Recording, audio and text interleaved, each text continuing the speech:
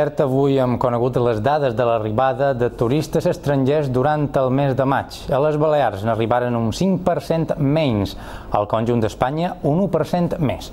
La davallada té a veure amb l'arribada de menys turistes del Regne Unit per mort de l'erupció del volcà islandès Eyjafjall, mentre que el nombre de visitants alemanys es mantingué estable. Són dades del Ministeri d'Indústria, Turisme i Comerç que recorda que el mes passat es van cancel·lar prop de 5.000 vols. De gener a maig, la nostra comunitat va rebre un 11% manco de turistes estrangers comparat amb el 2009. Al conjunt d'Espanya, un 2,8%.